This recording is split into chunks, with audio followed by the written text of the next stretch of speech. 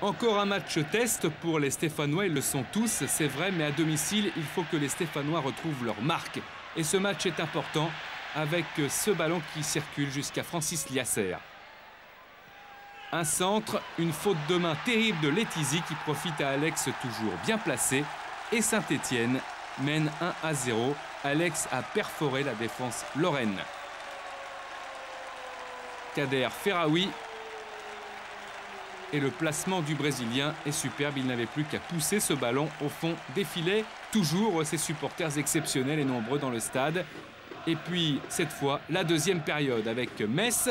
Mais Saint-Etienne qui récupère, qui voit vite, qui joue juste. Alex. Alex devant la défense Messine.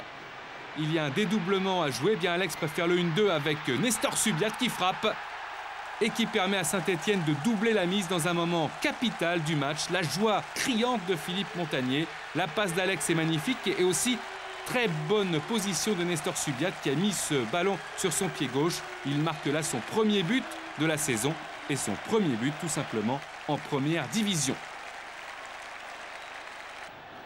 Les contres s'accumulent avec Subiat et Guel Guel s'avance. Et encore une fois, malchance, le poteau est touché, mais la victoire est au bout. 2 à 0.